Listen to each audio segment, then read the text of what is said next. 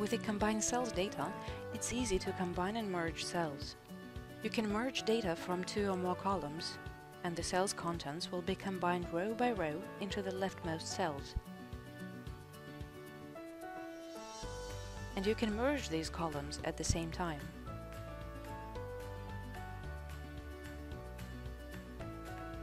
You can as well join data from two or more rows. Yet again, you may want to place all values into a single cell. Note that you can choose any separator between the values.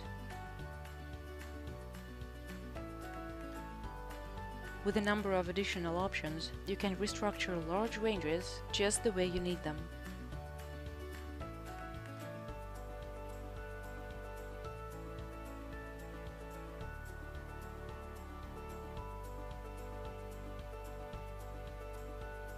For example, you can rearrange a contact list, a product list, or rearrange raw data for further analysis.